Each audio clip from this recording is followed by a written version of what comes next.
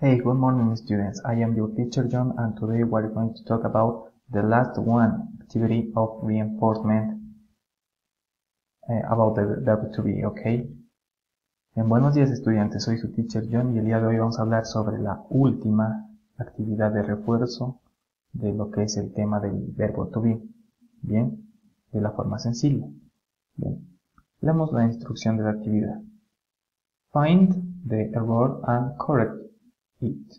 ok, en español quiere decir encontrar el error y corregirlo.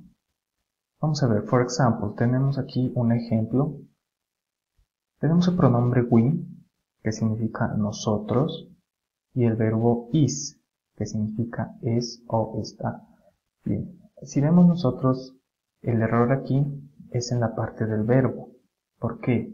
Porque si el pronombre está en plural, es decir, nosotros, un grupo de personas, el verbo debería estar en plural también. ¿Y qué verbo aplica esta regla? El verbo are, ¿ok? We are. Y aquí está bien escrito, miren, ¿sí? We are. Tenemos they are en el segundo ejemplo. Bien, ¿qué está mal en el segundo ejemplo? Si nosotros nos fijamos bien, they nos escribe de esta manera, ¿ok? Tenemos una una letra mal escrita, ¿sí? Entonces, como está mal escrita, nosotros la corregimos acá en la respuesta, ya una vez encontrado el error, y lo corregimos acá, ¿ok? Entonces, lo correcto sería they are, ¿ok? Con Y, con la letra Y, ¿sí? They are, ¿ok? Y ya tenemos corregida la segunda. En la tercera, tenemos el pronombre I, que significa yo, y aquí tenemos el que supuestamente es el verbo, ¿no? El verbo have. Aquí tenemos que está mal escrito y mal utilizado incluso, ¿ok? Entonces, como ya encontramos el error, lo corregimos.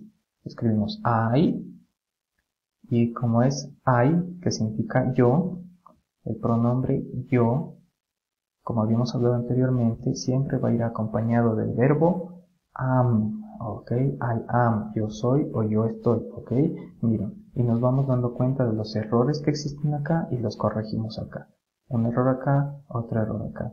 Miren, ya solo nos faltarían completar tres, que sé que ustedes encontrarán el error, lo, lo corregirán, lo harán de la mejor manera, y con esto pues ya quedaría, lo considero lo suficientemente claro de lo que es el, el verbo to be y los pronombres que nosotros habíamos visto.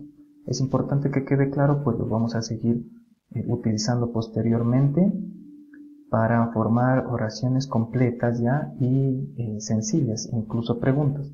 Así que por favor repasen este y los videos eh, anteriores que consideren importantes y pues de mi parte eso es todo por ahora.